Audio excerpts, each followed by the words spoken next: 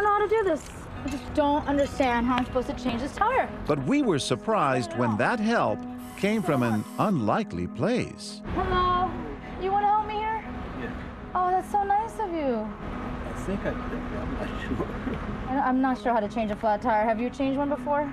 Oh, many times. Freddie Farris is 80 years old. He's a man struggling to walk, but he doesn't think twice about offering his assistance. I really appreciate you uh, stopping and trying to help me out here. I don't think I'm much help. I mean, if you want to just tell me, I can do it because I need to learn how to do this anyway. There it is. Thank you so much. You're quite welcome. So how come you stopped for me? Well, you look like you was in disaster there with that flat tire. Yeah, I appreciate it. Thank you for that. Glad I could You, help. And we're glad to meet Hi, sir. Freddie. How you doing? We wanted to see if anybody would stop and help her if she had a flat tire. And you did. Tell us why. That's the only decent thing to do is help. Did it matter that she was dressed the way she was, that she is a Muslim? No, I, I don't look at those things.